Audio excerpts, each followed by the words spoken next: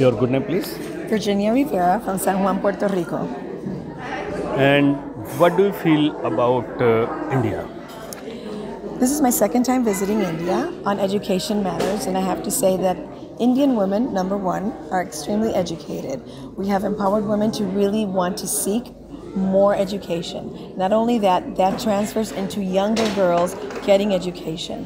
One of the things that really concerns us around the world is that 388 million women do not get education. But in India, we're seeing that change and we want to learn from that. We want to see what is happening, how you're making it happen.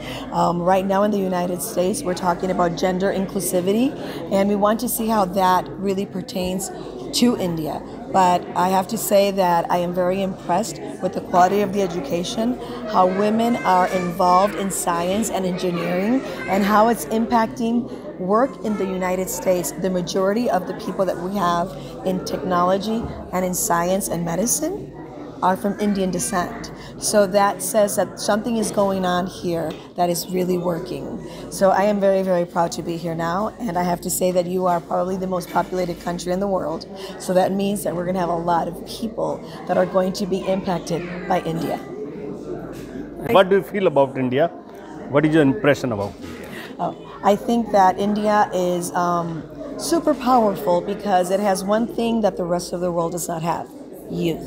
They have people that want to learn, that want to work. And they're young. Right now, um, the average age around the world is 37 years old. That's an aging population. India has a new population, a young population, a population of entrepreneurs, startups, scientists, technology, programmers. The truth is that we have a lot to learn from India right now.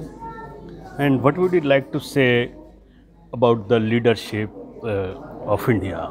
Well, I have to say that um, I have not been able, I have not lived under his work, but around the world, he is A plus. Around the world, he is very respected. And when people want things done, they will call Mr. Modi to be there. So I have to say that right now, it's incredible leadership. Thank you very much. Thank you. With cameraman Ashok VP Sharma, INS. Thank you. Thank you.